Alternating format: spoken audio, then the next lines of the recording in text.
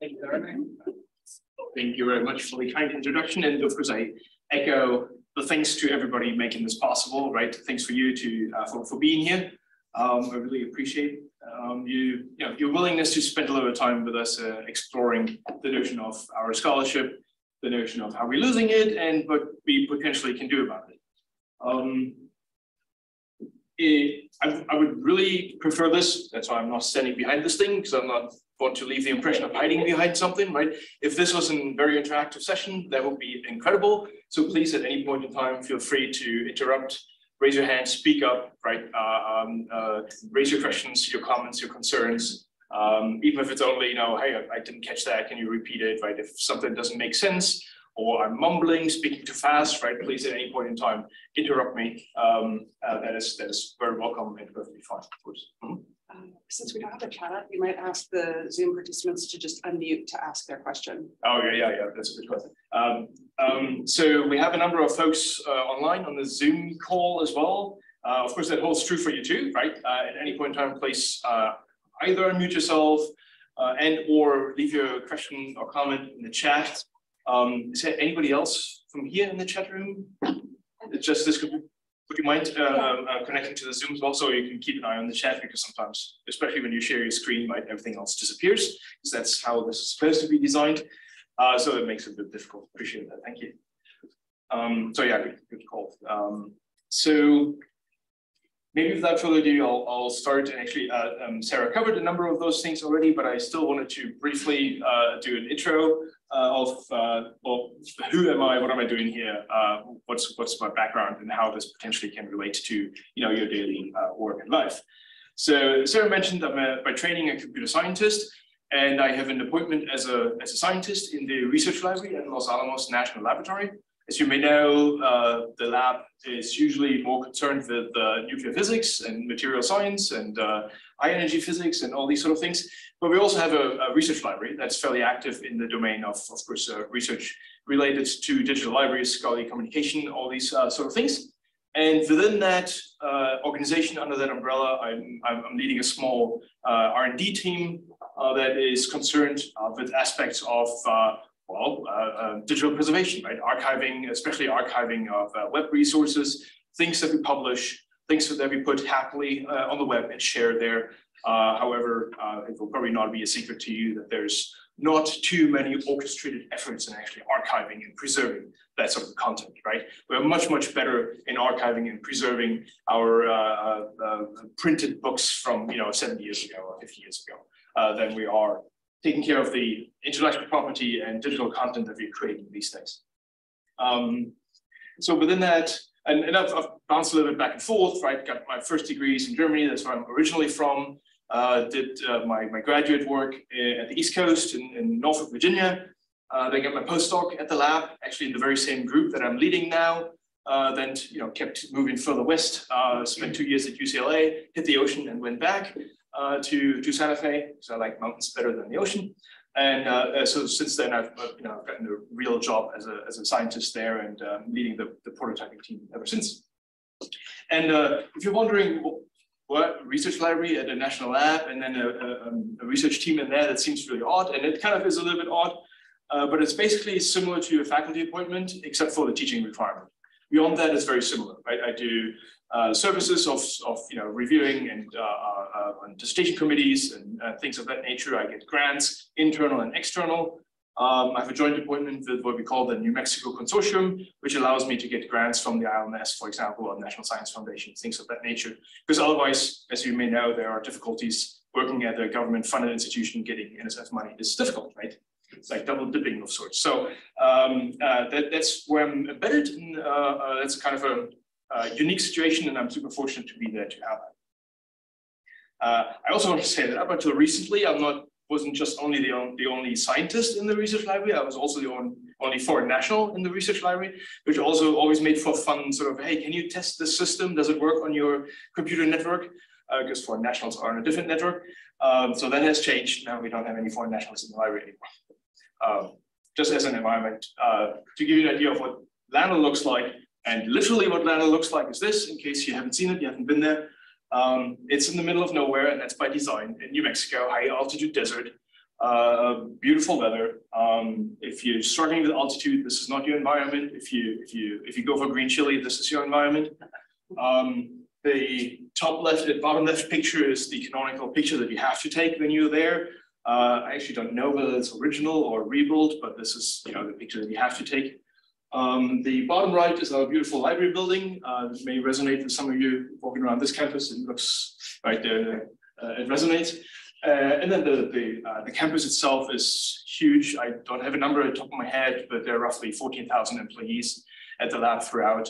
Um, I think uh, just about 50% live actually in the town of Los Alamos, and everyone else lives in the surrounding areas, including myself. I live in Santa Fe, and that's uh, an hour commute basically one way, right? So it was, of course, designed to be in the middle of nowhere. So you know, physicists could do their, their thing, right? uh, wouldn't be disturbed, including by spies or other uh, sort of adversarial um, activities. Uh, uh, but yeah, it's a bit remote. Uh, of course, it makes it you know interesting for for for hiring and recruitment. But it's an incredible place to be. You're surrounded by a ton of very very smart people. Uh, and uh, the, the research capabilities are just uh, unique, right? Absolutely outstanding. But it is a it's a government institution. I am not a government employee, as you may know. Texas A&M is one third of the consortium that man helps manage the lab. So I'm a contractor, government contractor employed by Triad. Triad, TAMU, and uh, University of California uh, consortium manage the lab. So it's a bit of an odd sort of setup, but that's, that's too much detail. All right, so that's where I come from. Uh, so I'm at, at, liberty to do these sort of uh, researchy explorations of, you know, what do we publish? How do we publish it? How do we try to take care of it? How do we archive it? Uh, and, uh, you know, in an organization like Los Alamos uh, is, of course, interested in, uh, in, in, exploring these sort of notions because, you know, we create a lot of content, right? Just like in university campus as well. We create a lot of intellectual property and how can we make sure that you know next generation or 30 years from now whatever will still have access to those sort of resources. That's the sort of thing that keeps me up at night and uh, that I, I, enjoy exploring. So i'll to share a little bit of that with you. So and again right at any point in time if something doesn't make sense please please interrupt me at any point in time. This whole research endeavor basically is under the umbrella of well scholarship happens on the web. And that's a good thing right happily all of us most of us use some of these tools, most use all of these tools, right? Uh, I keep referring to Sarah's blog, Sarah's blogging, using Medium or another tool, putting content out there on the web, uh, on a platform of her choice. And that's a good thing. So it enables us to share our ideas, to share our content very, very quickly, to disseminate to a very broad audience. Uh, we can version our, uh, our resources and uh, there are a number of advantages, of course. You recognize GitHub, I'm sure, as a, as a repository for sharing code, uh, for versioning code.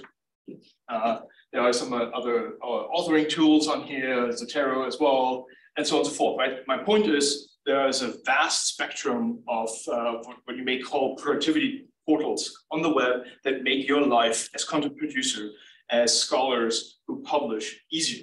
And we happily use these tools, and that's awesome. Um, however, it may come with a couple of side effects uh, that I, I want to um, uh, investigate a little further. There are, of course, others that have looked into this uh, much more closely than I have. Especially, I want to refer to the 101 innovations uh, overview. That's you know the, the circle overview. This graphic by now is dated, I think, an overview of these productivity portals as we know them, right? And how they may be classified. So if you're looking for a much more detailed overview of what those tools might be, that you uh, that are, are, are available to you that you can use, that's a really good resource. Point remains, everything happens on the web. Our scholarship happens on the web, right? We're sharing information on the web. And what does that mean? The fact that we do, the fact that we do create content online also means that translates to our citations, to our references, right? Um, even if I go back to my dissertation, what feels like 100 years ago, there was a good mixture of references to things that live on the web and references the things, physical things that live in a library, let's say, like books and chapters and, and journal articles, right? But I also reference GitHub repositories and uh, blog posts and YouTube videos, right? The entire spectrum of uh, knowledge, basically, that is available to us openly on the web. So these graphs are just to demonstrate um, the free increased frequency of such references from scholarship to resources that live on the web. That is an increasing trend, right? These graphs all go up um, uh, with the uh, correlated, somewhat correlated with the increasing number of papers that we publish, right? So that's an international trend too. We're publishing more and more. And not only do we publish more and more, we also cite more and more. We cite more and more that is online, right? That's the whole point. So it is an it is a problem that we uh, we need to take care of the content that we cite, because the, the imaginary case I wrote a book 30 years ago. Uh, if you cited my book, um, someone else that would read your article citing my book would still be able to obtain a copy of my book. Right? Maybe you have to travel to some faraway library if it's a rare thing, for example, but it's still there, right? For uh, there's a very good chance. Me citing Sarah's blog uh, imagine yourself five years from now reading my article, citing Sarah's blog. Is that still there? Uh, I would I would wager less so. Right, the chances are low. Let's put it this way. So uh, there's a real problem. That's what I'm trying to convey for this, uh, because as I just tried to you know basically outline a little bit, what happens to those references? Right? Are they stable? Do they break? Do they change? Well, all of the above, I guess, is a good estimate of the answer to this question, right? Uh, as I'm sure you know, the web is a very, very dynamic medium. Right? Things disappear all the time. Things change all the time. Uh, some things are stable, but uh, how does this relate to the things, to our scholarship, to our scholarly record? Because as you know, you're writing a thesis, you're writing your master's project or any other sort of paper uh, or, or even a blog post, right? Your references is what makes this thing whole. You're expected to have, for example, a related work section in your dissertation. Well, without references, that's not much of a related work section. That's just you know empty statements, right? So there's an issue there. Let's look at some of those. Um, I'm sure you have all seen examples like this. It gets better, don't? You've all seen examples like this, right? You bookmark a page in your browser, six months later, you come back to it and, and, and it's gone, right? The content has disappeared of sorts you get this infamous 404 page not found error, which is a standardized HTTP error, conveying that something has gone wrong with this page. And that's an example of that. And uh, that's a, a, it's always an interesting challenge to find an example like that.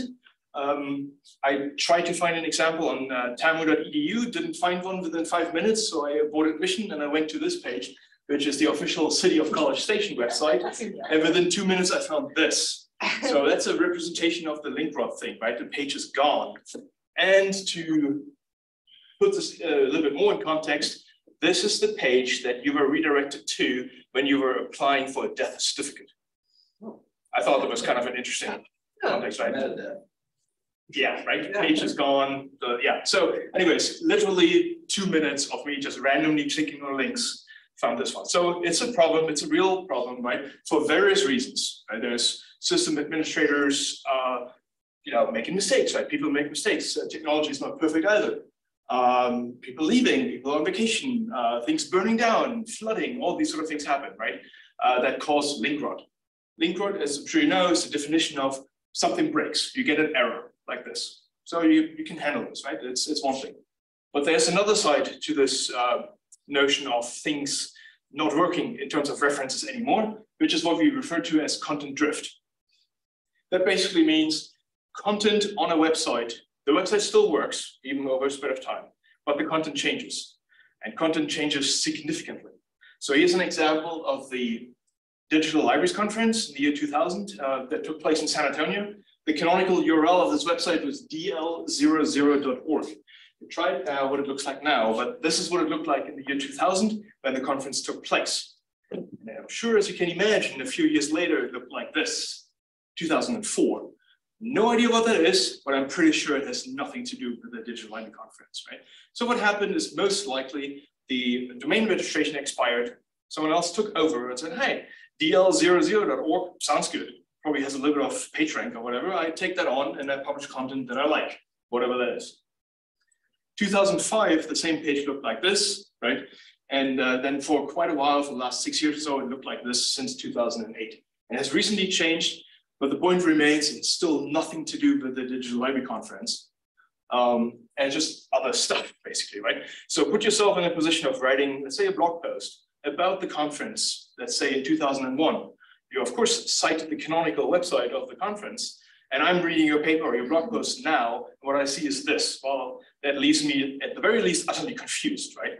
Like, what did the author intend to cite here? This, I, I don't know, right?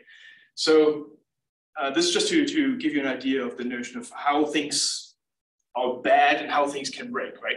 Uh, link rot, the, the, the link absolutely breaks, and uh, content drift is a notion where the link doesn't necessarily break, but the content changes potentially to an extent that is not representative uh, of the content anymore that you intended to cite at the time of writing, right? So a number of years ago, uh, during a Mellon-funded project with the University of Edinburgh together, we coined the term reference rot as the union between uh, of link rot and, uh, and uh, reference rot. Sorry, link rot and uh, reference rot. Sorry, link rot and content drift together makes reference rot. Right? When you're referring of something going wrong with your references, uh, we refer to it as reference rot, which could either be a case of link rot or a case of content drift. You'll notice on the bottom of the slide, um, it was a late edition last night, that the canonical project webpage, hiberlink.org, has undergone the same scenario as uh, dl00.org. Domain expired. I pinged the folks in Edinburgh, saying, hey, what's going on here? And of course, we're investigating. So uh, the page has changed, has nothing to do with the hyperlink project anymore. So I went back to an archived version to put the proper link in. So, you know, it, it, kind of an implied life use case of how this can, can happen. Project websites are chronic to, to disappear or to change, right? Because funding runs out and then who pays for the domain registration or the web space, right?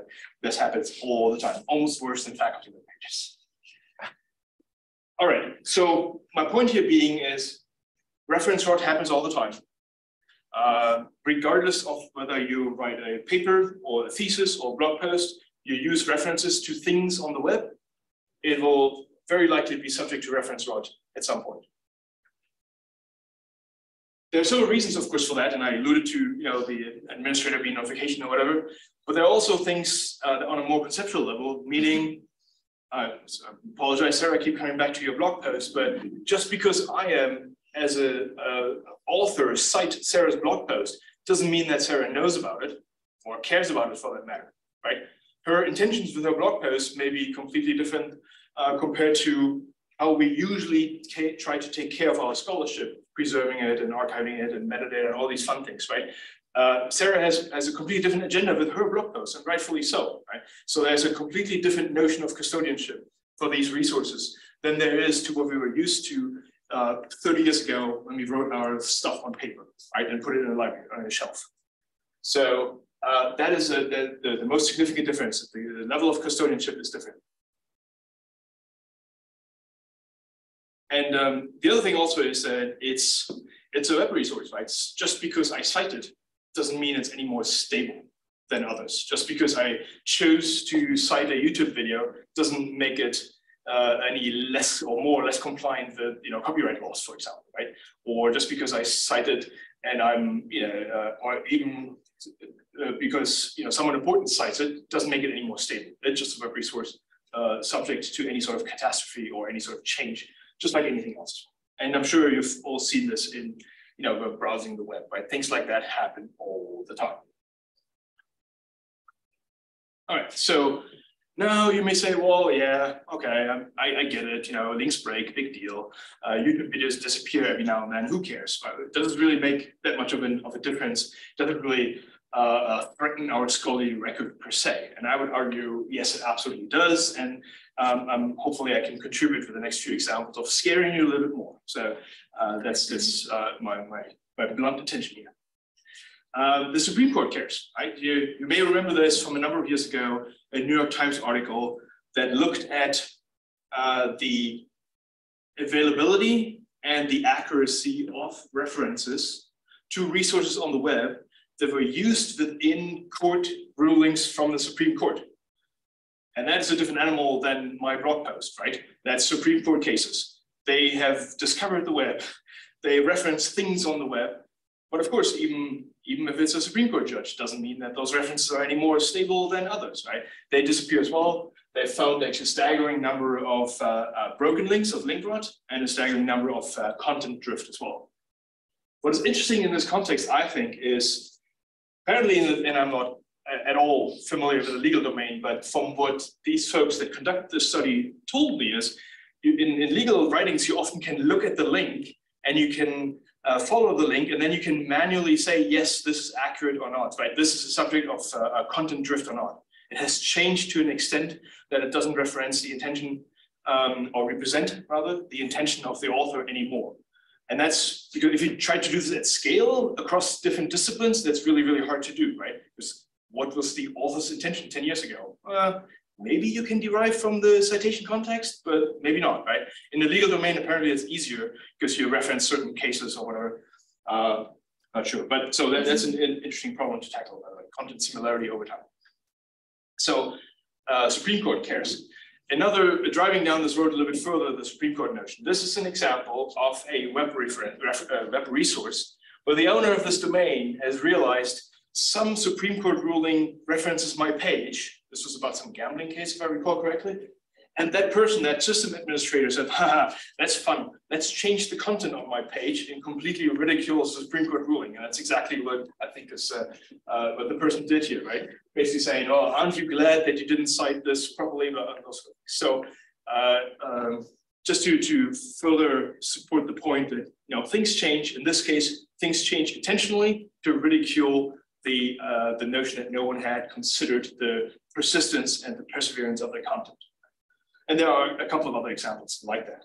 There's actually an industry around this now. Uh, re recently read an article about this that uh, people sell you expired domains that were cited in the New York Times because it's the New York Times citing you and the domains have expired. So you can, it's a marketplace to buy the space and put your content up there because the New York Times is still citing you. So, all right, yeah, whoever comes up with that, you know, incredible. All right, so analysts should care, right? Obviously. So we ran an experiment like this uh, in the outward-facing uh, domain. So the, the, the, canonical URL that represents all of the lab, um, and looked for broken links. Well, yeah, two and a half minutes or so it took us to find a link, but we did this at scale. We crawled the entire, entire domain and uh, looked for things that were broken. And this is just an example of how things can really break because, excuse me, on the left-hand side, you see this unavailable service. But for one, that's not a standard error message, right? This is just random coming up with something. But it also is the page that you get redirected to in case of link rot. So they don't show you a 404 error, they show you this page, regardless of what link it is that is broken. You always get redirected to that. It's like a default, right? And uh, it gets worse because this is not an HTTP 404. So on the protocol level, it's hard to identify that as an error. This is an HTTP 200, which means, ah, everything is okay. So a machine thinks this is okay. A human, of course, thinks, ah, this is not okay, this is an error, right? So it makes it very hard to analyze these, uh, these dimensions of link rot at scale because the machine thinks everything is fine. But of course, you can look at the content. They always look very similar. Uh, maybe there is a certain level of redirects on the HTTP level that you can measure and so on and so forth. There are some hybrid approaches, but it makes it really, really difficult. Right, so because again, a human thinks, ah, that's, a, that's an error. I need to find it elsewhere. Machine thinks, hey, everything is cool. So that uh, there's a big disconnect when you're trying to reach research these things at scale. Another side effect of this is there are more than 32,000 archived versions of this page. Because again, a machine thinks this is all cool, this is all okay. So machine being the crawler of a web archive crawls this thing over and over and over again, 32,000 copies of the same thing that is an error page, right? So it makes for an interesting study of how errors, you know, evolve or not over time. But it, and it's the same, of course, with, with search engines, right? Uh, uh um, archives are not unique; they're just machines like like not dissimilar from a search engine. So since they think it's all okay, I'm making copies of this over and over again. So that's bad. That's a majestic waste of resources, right? And maybe there's a research endeavor in this somewhere. I'm not sure, but 32,000 copies really, and that's just the internal archive, just one archive. All right, so it's an uh, bad side effect. This sort of a scenario where a human can clearly identify a page as an error, but a machine cannot, at least not easily, is what we refer to as soft 404s. There's a body of research around that too. Because soft, because well, on the protocol level, it's not. Uh, on, a, on a human consumption level, basically it is. But it takes domain knowledge, it takes some sort of intelligence to identify those. Right? And I can kind of understand it from the system admin point of view. You're trying to be maybe accommodating to a browser, to human browsers. Uh, you know, an error page is not fun to look at. Maybe you want to uh, uh, offer some, some more intelligent content. Sure, I get it. But at the very least, on the protocol level, this should be a 404. All right. Uh, of course, I would be here if, if this was if this claim, if I wouldn't support this claim, right? That authors, of course, should care. So this is an example of a paper that's by now 10 years old in the D-Lib magazine. D-Lib magazine was uh, web-based, it was an HTML um, publication, which is awesome. And uh, you know, the number, the vast majority of references in the bibliography section that have a URI in it or URL in it are gone now. And maybe you can read some of those are ePrints repositories. So those are digital repositories, institutional repositories. They should be by definition stable, right? But of course they're not. So right within 10 years, and it's just one very small example, within 10 years, the vast majority of those references are gone.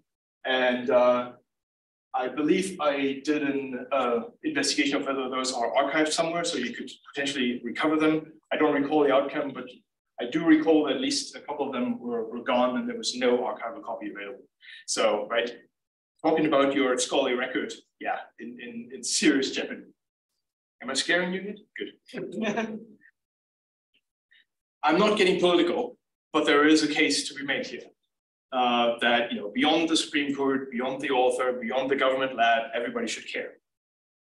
This is the Environmental Protection Agency website about climate change in the year 2016.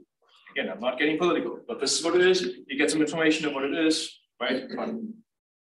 This is the same web page in the year 2020. The same URI, right? 2020. And I, I don't recall how long this stayed up, but it, it was for the vast majority of a four-year term, just coincidentally. This is the, the same page now, right?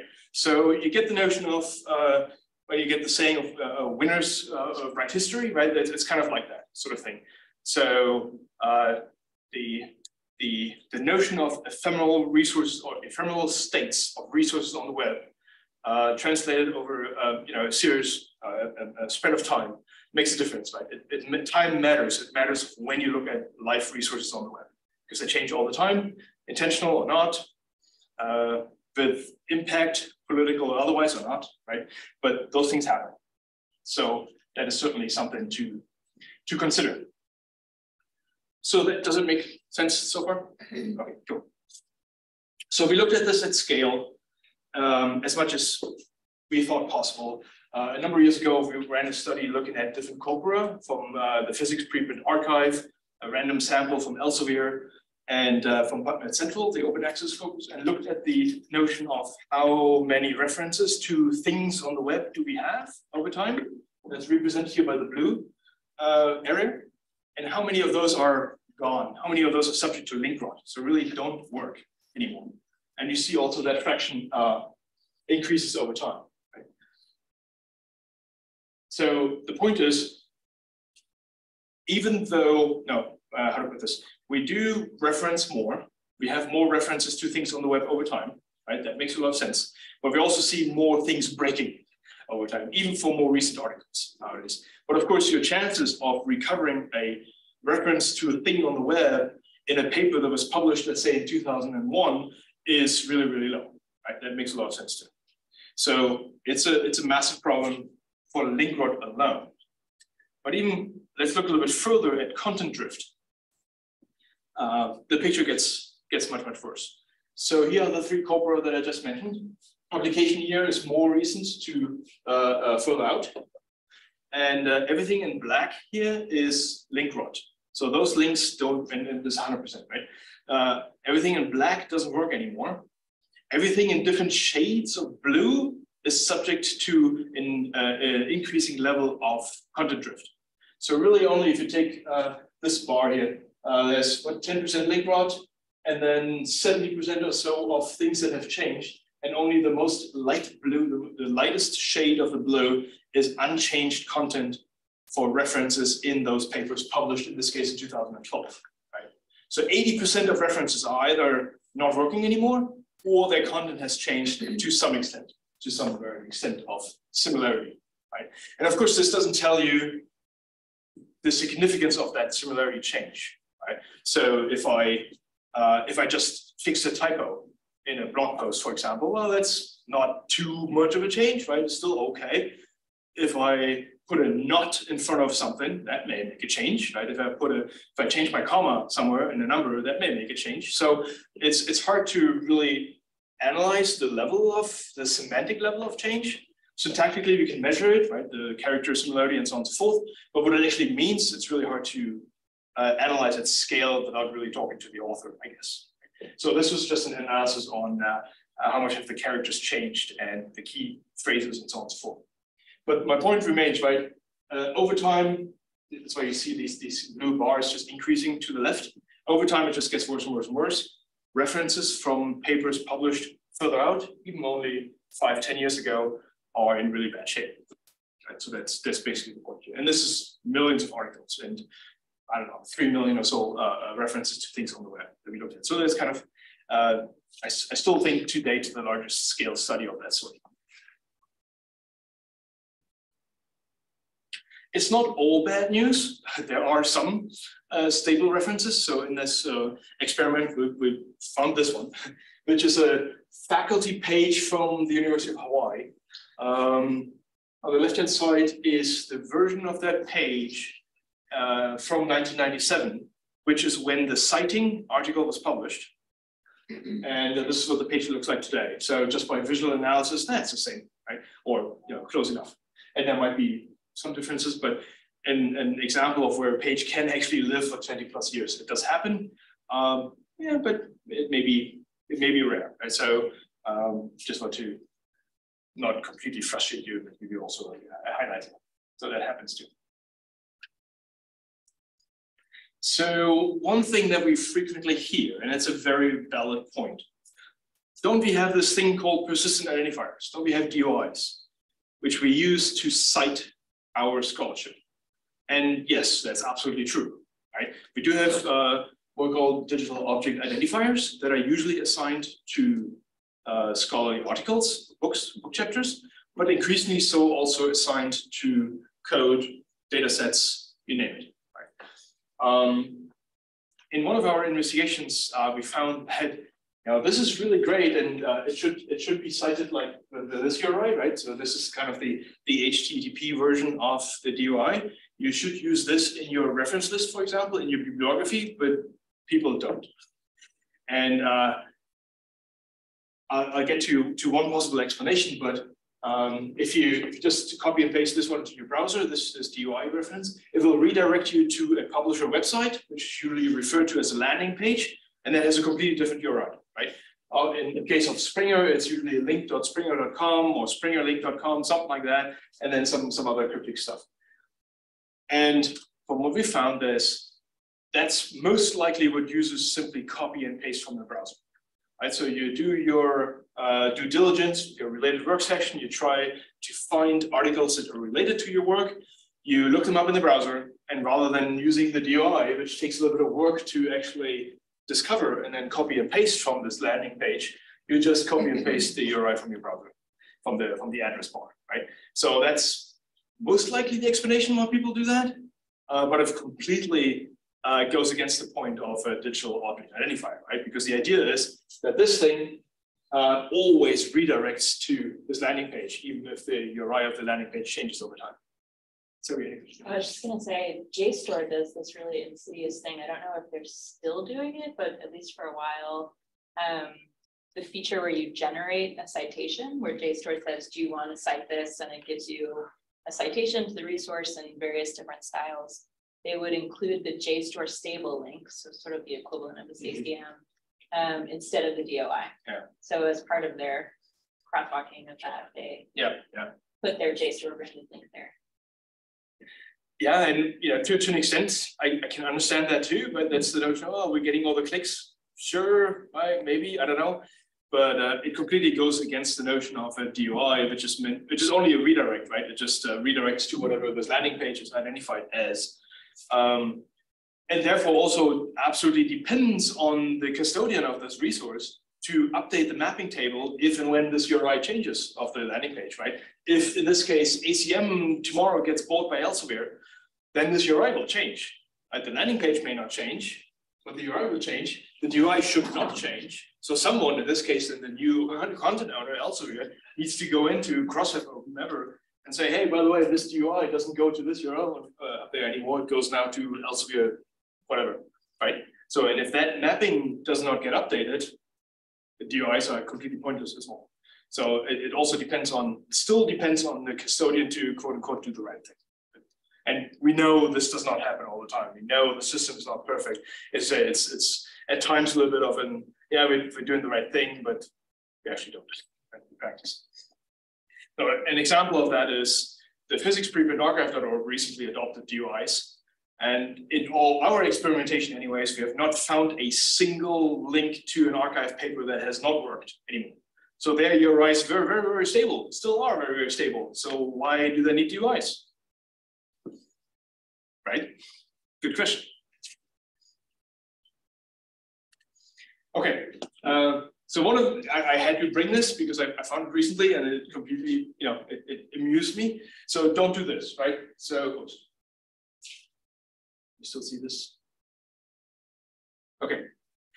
Uh, that is apparently a real uh, bibliography section of a scholarly work. And uh, I, I would bet money on the fact that this doesn't work tomorrow anymore, right? And yes, it's Google Books, I get it, they're somewhat stable and, and have a lot of money and so on and so forth, but still, what are the chances that a URI that spreads across, I don't know, a dozen lines still works tomorrow, right? Those sort of parameters that are in there, well, yeah, it takes someone to flip a teeny tiny switch and those things break, right? And it's not necessarily always a correlation of length, but if it has that many parameters in there, the, this, this is not going to resolve uh, in future, in the near future, right, is my argument. So I would, I would say don't do this, don't choose those things. Uh, another thing that we hear frequently is, hey, screenshots, screenshots solve this, right? Uh, yeah, things on the web disappear, but I, I took a screenshot of a tweet or something like that, and uh, that is archived, that is preserved. And the answer is no, it's not. So it's, yes, it's better than, well, maybe it's better than gone, but it's also easy to fake, right? It's easy to manipulate. Uh, this is an example of an article that just came across the other day where this photographer won a, a photography prize, like a Sony something world award, and then came clear, it's like, yeah, I don't accept this reward, award because the uh, the award-winning picture was not taken by me. It was uh, artificial intelligence creating this thing, right? So, and, and he just did it to you know throw up the system a little bit and say, hey, you need to talk about these things. This this things this happens, right? There is generative uh, artificial intelligence that creates stuffs, not just text, but also images. Um, we have these fun celebrating things here. We need to talk about these other things. So um, my point here is that you know, screenshots are probably better than nothing, but are they reliable, right? Can you, would they hold up in court, for example? Mm, I don't know, right? So uh, there, there's a bit of a um, consideration, put this So what can we do about it? There is, of course, a number of options that we can do. Uh, this is a concept that we came up with that I would like to uh, introduce briefly and, uh, and maybe give some pros and cons and, and uh, uh, tell you a little bit about how this can be used um, to potentially make your scholarship a little bit more robust. And uh, it is, uh, so robust links is the phrase for the concept that we uh, um, uh, coined or that we came up with. And uh, I use the term robustifying your links uh, frequently, and it's a real word. word. I, I, like it, so everybody's going to use it. Robustifying your links is an action, right? It's a, it's a verb. How does this work? What should we do about it? Well, there are a number of services on the web uh, that you are probably aware of, at least some of them, that we can use to create archival copies of web pages. You probably have uh, seen the Internet Archive uh, before. That is the oldest and, and, largest web archive in the world. Uh, it's free to use. Uh, it's at, at, no expense to you to use. Uh, and there are a number of other services that operate in a similar manner. Often their technical underpinnings is different. their financial model might be different. But all of these services here allow you to submit a URL to them and ask them to create an archival copy on your behalf. Right? So the Internet Archive does it, archive.is uh, does it perma.cc, and I understand uh, has a has a relationship with perma.cc and uh, a subscription of Yeah, sorts. we're, we're a registrar. Register, perfect, yeah. So there's an, uh, a larger quota uh, of, of URIs that you can submit to them for, for archival purposes, right? Yeah. Uh, Archive the Web is a fairly new service, um, a Japanese service, um, uh, Megalodon, allows you to do the same thing. So you can, for example, you're in a position to write your thesis, let's say, uh, you look at all the references to things on the web that you would like to include.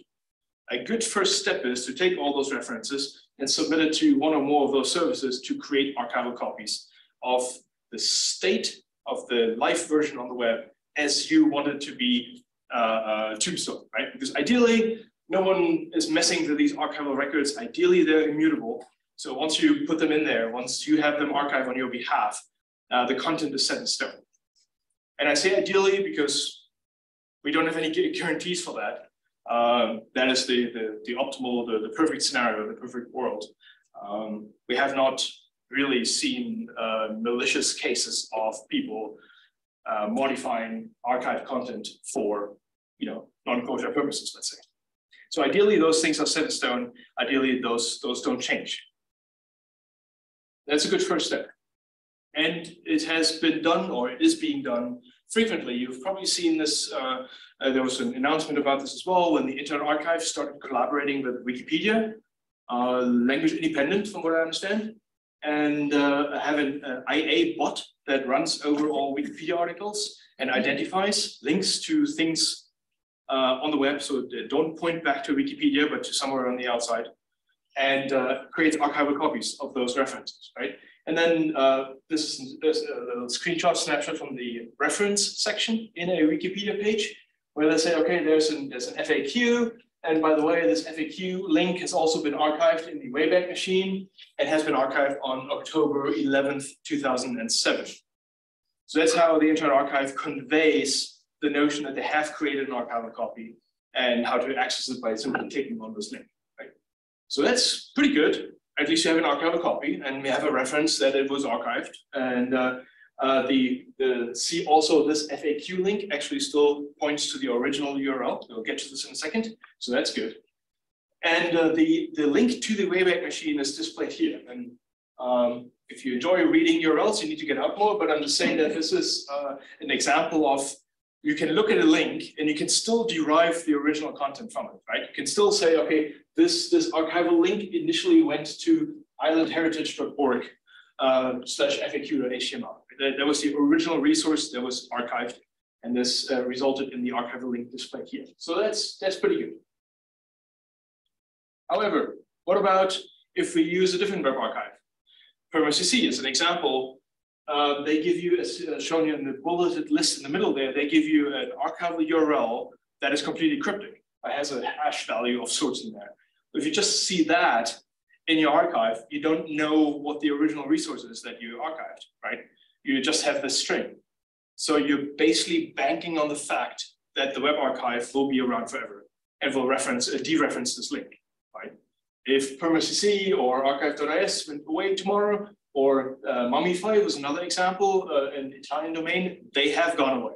They have ceased operation, right? So we have a ton of Mummify links that are just, uh, they're not operational, they're not working anymore. So for that sort of a simple replacement, you just ex uh, um, exchange, you're just replacing one web problem with another, basically, right? Because there's nothing inherently stable or uh, permanent about a, a web archive. Right? We've seen this, we've seen web archives disappear uh, or cease operation of sorts. And in, in, this case, you, you didn't gain much. You at some point did the right thing, but uh, um, for down the road, it didn't work out because the, the URI doesn't lead anywhere. And you cannot uh, retrieve the original URL from this link, right? From this archival record link. You don't know which page was archived if I show you archive.is slash mtnku, whatever it is. Right? So that is that is not the answer. The answer, or uh, one option for an answer is keep three pieces of information when you're linking to web resources. Right, so again, make an archival copy. Then in return, you will get a, a link to the URI that identifies this archival copy. Uh, and you keep these three pieces of information. You keep the original URL, that is crucial. you keep the URL of the archival record, and you keep the date time when you created this archival record. And I'll, I'll, I'll tell you why. If you still have the original URL, um, and that works, perfect, right? If the uh, island heritage thing still worked, you could just click on that, like you click on any other link on the web, it works, great. If it doesn't work, you have as a, a fallback option the, uh, the archival link, or you can click on that and see whether that works. Uh, in the case of the Internet Archive, that probably still works. In the case of Mummify, it doesn't work anymore. So what do you do then? Well, there's the um, second fallback mechanism, which is the combination of the original URL and the date time of linking.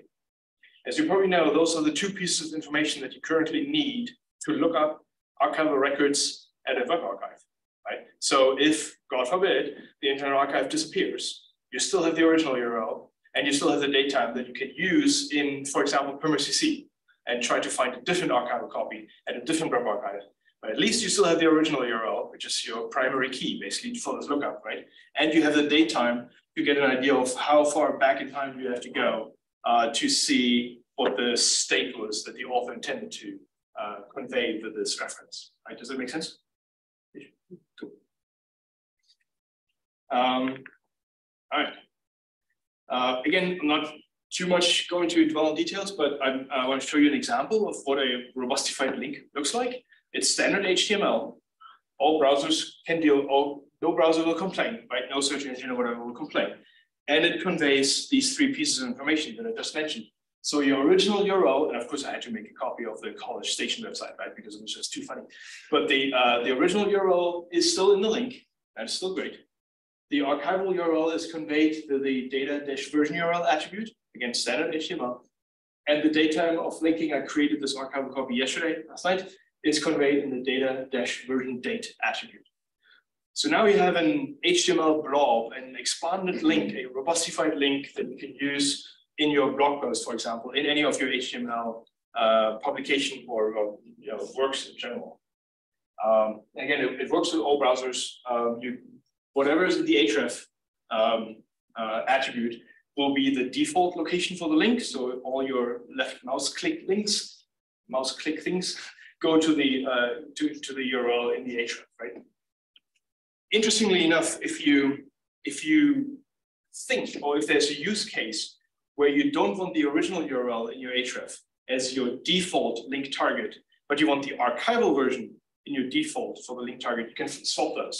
You can put the perma URI in the href, that would be your default link target, and you just change the version URL to the original URL attribute, and you're good to go, right? But there again, it's key to not just throw away the original URL, but also convey the original URL in conjunction with the datetime as a fallback mechanism, as uh, outlined a second ago. So this is, this works, this is fun. If you want to see it in action, uh, we wrote a uh, Code4Lib paper a while ago. Code4Lib is also fun because it's HTML. So we, uh, we tricked them into um, uh, um, um, including our robust links. So we robustified all our links, and I still love this term.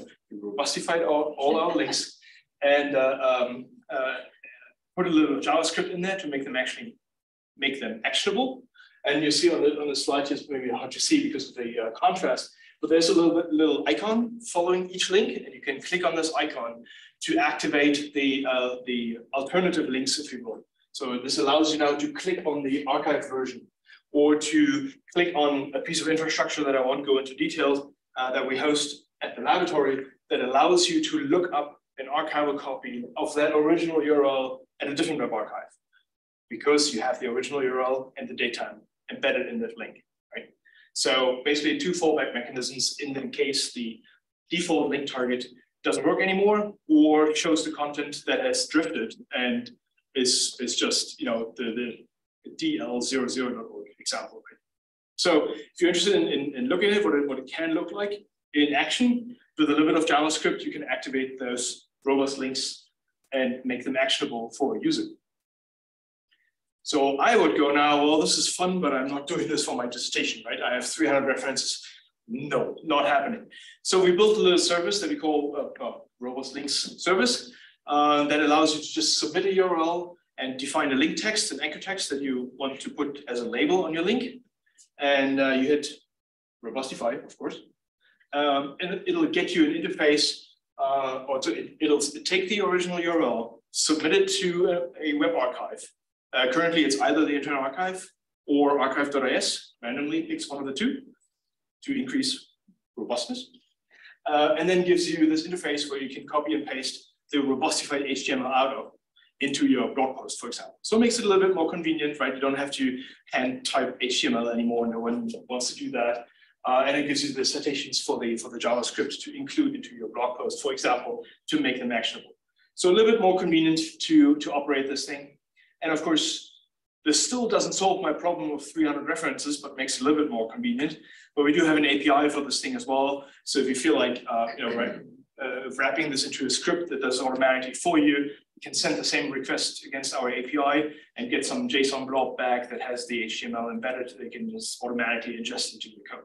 So you can really automate the robustification, still love it, uh, of, of this of this process and of all your links, right? Uh, the, the few lines of code. So that's fine. Um, there are, of course, other environments that are relevant for this, one of which is Zotero uh, as a reference manager. So um, I had a colleague of mine uh, work on a Zotero extension, a robust links Zotero extension. So if you're familiar with Zotero, right, you have, for example, a browser plugin, just one button to ingest something into your Zotero library.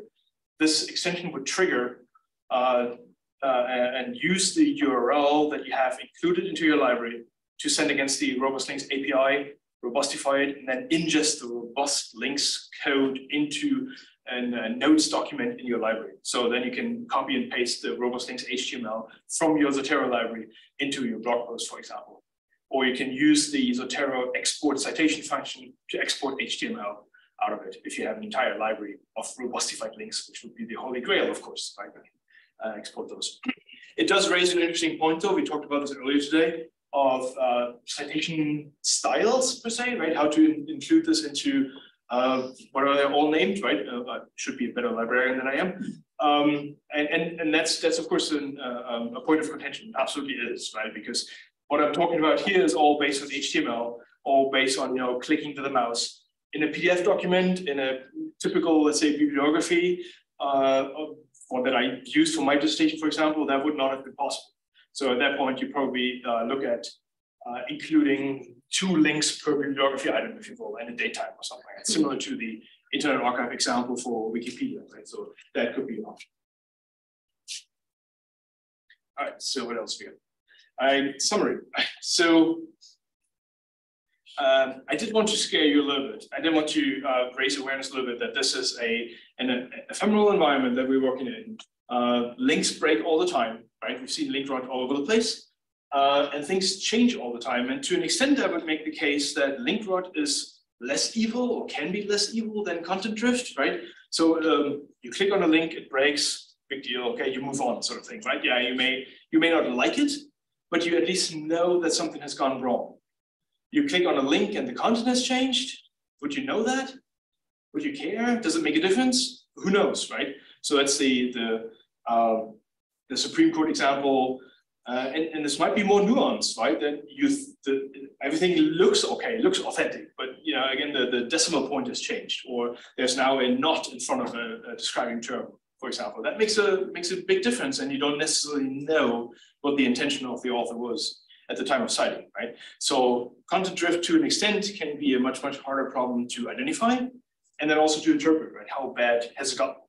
Well, yeah, who knows? So uh, maybe an evil student project, right? Modify all sorts of uh, content of references uh, that were, yeah, in, in, your dissertation or something like that, and then see what, what the overall content is, is, is like, right? How does this change your message if your reference content changes? No, no, good question. So, but regardless, right, that's the that's the environment that we live in. That's the, the situation that we have, and um, the all the benefits that we enjoy for sharing content come come with this sort of an uh, uh, battlefield of uh, uncertainty. Let's put it this way, sort of thing. So uh, there's absolutely nothing, and that's another point that I want to raise. There's absolutely nothing inherently stable or permanent about a web page just because you cite it, right? It doesn't mean anything to the custodian of the content that you, you cite. Uh, we've seen it even with government laboratory websites, right? I keep uh, uh, bringing this home sort of thing. There's nothing inherently stable about that. It's just humans and uh, humans and make mistakes. Technology is not perfect. So uh, just because it has the label of nano.gov doesn't mean it's permanent, right? maybe far from it. social media is a completely different animal, of course, right? We've seen cases where students are not allowed to cite tweets in their theses because the exception, uh, the assumption is that it's going to go away or uh, it's under custodianship of someone that we don't trust, let's say, right? So uh, we've seen the same with Wikipedia, but it, I think was a different um, argumentation there. But um, content is, is ephemeral. That's the whole point, right, on the web. Which means, because, sorry, because Sarah is not, does not care about uh, me citing her blog post, it's on me to make sure that I have a more permanent record than just a pointer to the live version of the thing, right? It's on me, it's on the author. Uh, and of course, this could go by proxy. We could think of maybe uh, if I write a, a paper that I'd like to submit to a conference, maybe the submission tool, like EasyChair or something, I could do this on my behalf. Sure, right, fine. Maybe Elsevier, if I submit it for publication, could do it on my behalf. Sure. But of course, as especially as let's say a, a, doctoral student uh, being you know this close to submitting my thesis, this is the best time to do this, right? Because you're highly motivated of delivering a, a good piece of work. You're somewhat motivated of creating a record for prosperity. Well, that's the time to do it, right? This is where you're most um, uh, uh, motivated. Uh, and this is the time when the life resource on the web represents what you're trying to cite. Uh, this may change at any point in time. So at some point, it's a, it's a race condition. So, right? um, so it's on us. We have to do this. Uh, and the, the uh, robust links notion is one way of doing this. Surely not the other, not the only way, and, and maybe not the best way. Who knows? Well, time will tell, I guess. But the point remains: creating archival copies is currently the only thing we can do. Uh, and then conveying the fact that an archival copy exists and ideally linking to that archival copy with as much information as possible is probably the best path forward, right? And as always in digital preservation, more copies, more better. So if you uh, use PermaCC and the Internet Archive and uh, maybe a couple others, you absolutely increase your chances that the resource that you're trying to cite is archived uh, for later use. Let's put it this way, right? Uh, time absolutely matters, right? So your date time, your time of linking is relevant. There are usually some timestamps associated with the publication, right? So Elsevier will tell you when your paper was published. But there are a gazillion of those timestamps, right? There's the publication for an online version and then a print version and the accepted manuscript and all kind of crazy terminology and timestamps that come up with, right? Uh, the only timestamp that really matters is yours, right? Because you know what you're trying to cite. Elsevier doesn't. So it's a it's a it's a proxy if you don't do it, but they do it. It's probably better than nothing, but you can do better. Right? That's the whole point. So time matters. And I mentioned it as well before, there's nothing inherently stable about web archives. Like Mummified disappeared. Uh, website Sarah mentioned earlier uh, has ceased operation. Um, things of that nature. So a, we're not necessarily in an environment where um, business models for web archives are super solid. Uh, their um, uh, sustainability models are, you know, time will tell again, right? But uh, right now we don't have a guarantee that the archive will be around for the next 50 years, right? No one will give you that guarantee. So uh, just because at the end of the day, it's just a website, right? That's the whole point. So uh, it's uh, the best we can do right now. hopefully this lasts for a while, let's say. And of course, it also raises the question of uh, what is currently not possible with the web archiving infrastructure that we have at our disposal, right? So I mentioned social media, which I'm sure you know is horrible to, to archive, right? Archival copies, try to archive your Facebook page. It's a disaster, right? Any sort of Twitter uh, uh users you follow, try to archive that. It's a disaster. JavaScript is the reason why we can't have nice things, as one of my uh, um, colleague said a while ago, right? Um, anything dynamic, anything uh, crazy interactive is a nightmare for crawlers and for web archiving infrastructure. Um, we're really good in archiving the stuff that we published 20 years ago, or 10 years ago. We're not all that good uh, uh, publishing TikTok and things of that nature, right? However, if you talk to a historian um, looking at you know the, the early 2000s, the basically the only resource they have is web archives, right? Because content is created online. So it's it's a it's a disaster. Journalists in the same sort of uh, realm, right? How how does a let's say 30 year old journalist apply for a job? Well, here are all the things that I've wrote, and of course they're all on the web. Are they still there, right? I mean, so so it, it's becoming increasingly important to to take care of these sort of things. And they will, of course, also, you know, increasingly so move into the legal domain, right? Uh, web resources, archived web resources, increasingly so will be used as evidence in court. It's, it's inevitable, right? And right now, it's uh, there are a number of, uh, from what I understand, anyways, this may not be the entire picture, a number of uh, uh, domain experts that uh, tell the court of how an archival copy is created, and then it's up to the judge basically to say, yeah, I believe it, I trust it, or no. Right? So there's no no real framework, so we don't really know how to deal with that. However, it's it's it's our life, right? It's our content, so it will just be a matter of time until that happens. So uh, there are a number of other examples, like YouTube videos are horrible to archive, those sort of things, right? Um, but I'll, I'll go to there. So I think that that I'll, I'll close out. Been talking for way too long. I apologize. So, um, anyways, I hope some of this resonated uh, with you. Uh, please do get in touch. I'm, I'm, I'm happy I'm happy about our collaboration with uh, uh, uh, incredible colleagues from Texas A&M. Any sort of, we were looking at, right, it's, it's for the children. So we're looking at uh, and uh, um, was trying to analyze what uh, students do in their, in their ETDs, trying to come up with intervention points of how technology to be developed could make students' lives better by taking care of references, taking care of uh, online content that we're using, utilizing to make our case in ETDs. So that's an incredible, I think, field to explore. Uh, if you're interested in that, please do get in touch. Um, we're most happy to, to talk, collaborate, and, and, come up with new fun ideas. So hopefully this was not all crazy scary. Maybe you uh, took some away with it. Appreciate your time. Uh, a little bit more time, apologize. um, so yeah, thank you. Thank you for having me. It was fun.